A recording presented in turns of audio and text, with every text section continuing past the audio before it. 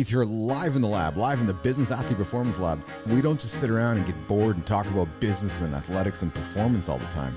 We actually have some fun. Check it out. In the lab with Was Keith, that passionate enough for you? Was I passionate? Keith and Steve here in live in the lab. I'm really engaged right now and I don't want to stop. Can I get a few extra minutes with you? You're a great interviewer. I love it. This is awesome.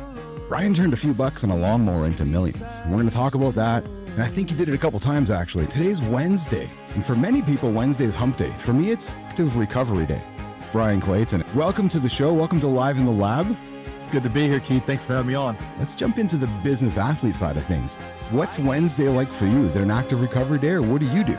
We are coming in a little late today and we have a guest on the show. And it's our first Sir. The first Sir on Live in the Lab, Sir Darren Jacklin.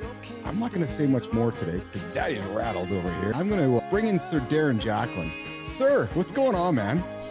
Monday to Friday, live, noon Central Time, minus 5 GMT on YouTube for the live stream. Live in the lab, live in the Business Athlete Performance Lab. I'm your host, I'm Keith Bilous.